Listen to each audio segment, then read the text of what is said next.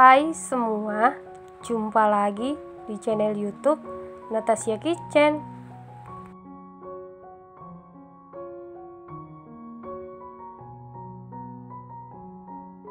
Semoga hari ini semua penonton Natasha Kitchen diberikan kesehatan dan rezeki yang berlimpah.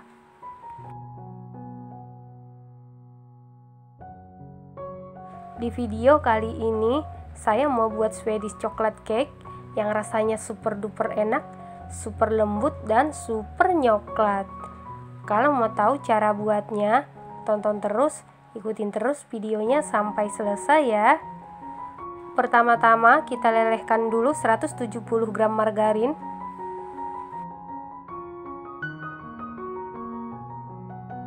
Setelah margarin meleleh, kemudian angkat lalu sisihkan. Selanjutnya siapkan satu buah wadah, lalu masukkan 3 butir telur suhu ruang, 230 gram gula pasir setara dengan 16 sendok makan, setengah sendok teh vanili cair, seperempat sendok teh garam, Kemudian mixer menggunakan kecepatan paling tinggi sampai mengembang dan berwarna putih pucat.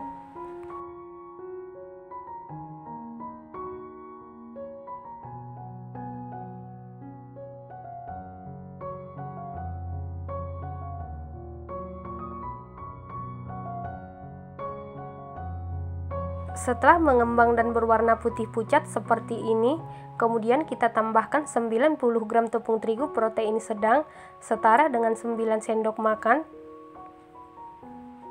Lalu aduk-aduk menggunakan spatula, aduk-aduk dengan teknik aduk balik sampai tercampur dengan rata. Setelah tercampur rata seperti ini, kemudian kita tambahkan 50 gram coklat bubuk setara dengan 7 sendok makan ini kita ayak untuk memastikan supaya tidak ada bahan yang bergerindil ya teman-teman.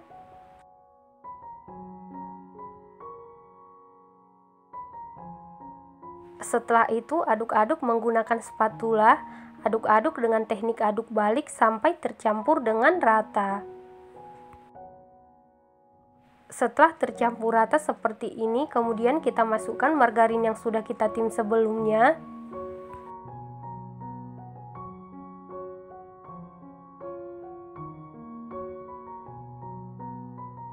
Kemudian aduk-aduk sampai tercampur dengan rata.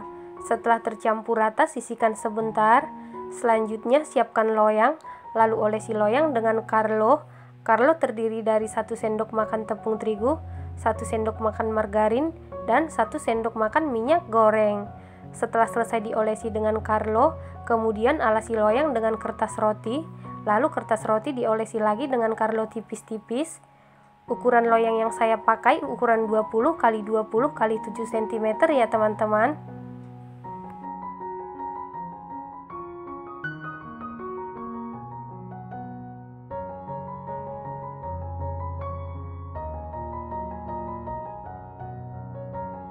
Selanjutnya masukkan adonan ke dalam loyang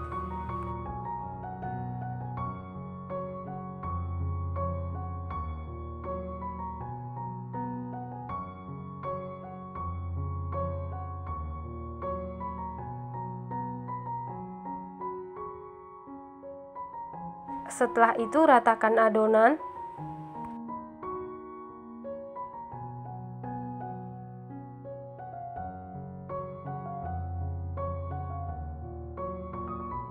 Selanjutnya hentak-hentakan beberapa kali supaya udara yang terperangkap di dalam adonan bisa keluar. Kemudian adonan ini siap kita panggang dan sebelumnya ovennya ini sudah dipanasi di suhu 175 derajat celcius api atas bawah selama 15 menit dan ini ovennya sudah dalam keadaan panas. Kemudian masukkan loyang yang berisi adonan ke dalam oven, lalu panggang di suhu 175 derajat Celcius, api atas bawah selama 40 menit sampai matang dan sesuaikan dengan oven masing-masing. Setelah 40 menit dipanggang, ini cake-nya sudah matang. Untuk mengecek kematangan bisa dites tusuk. Apabila tidak ada adonan yang lengket berarti sudah matang. Kemudian angkat dan keluarkan bolu dari oven dan langsung keluarkan bolu dari loyang. Selanjutnya biarkan dulu sampai benar-benar dingin ya. Setelah cake-nya sudah dingin, kemudian bagi menjadi dua bagian yang sama.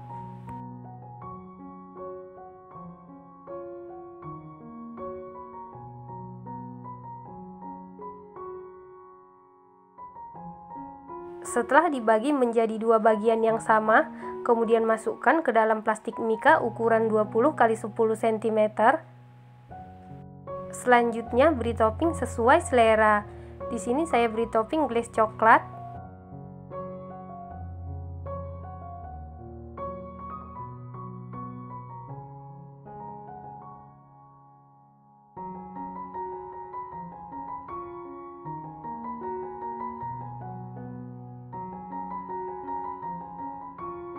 Selanjutnya, hias cake dengan kacang yang sudah disangrai sebelumnya.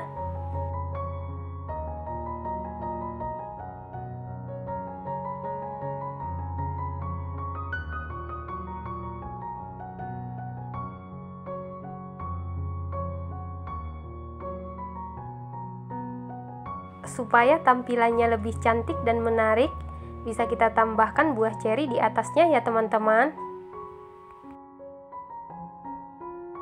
Nah, ini dia Swedish coklat cake-nya sudah jadi.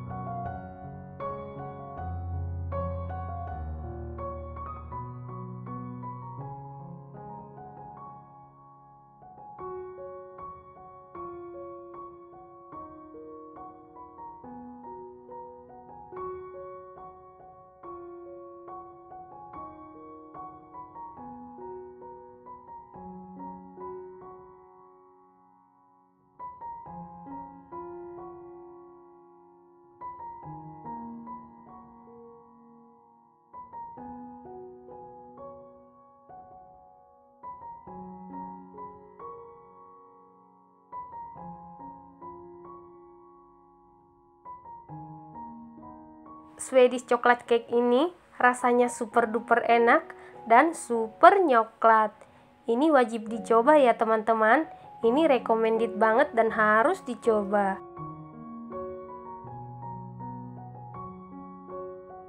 Terima kasih karena sudah menonton. Jangan lupa share, like, komen, dan subscribe. Dan jangan lupa tekan tombol loncengnya supaya tidak ketinggalan video-video kami berikutnya. Terima kasih.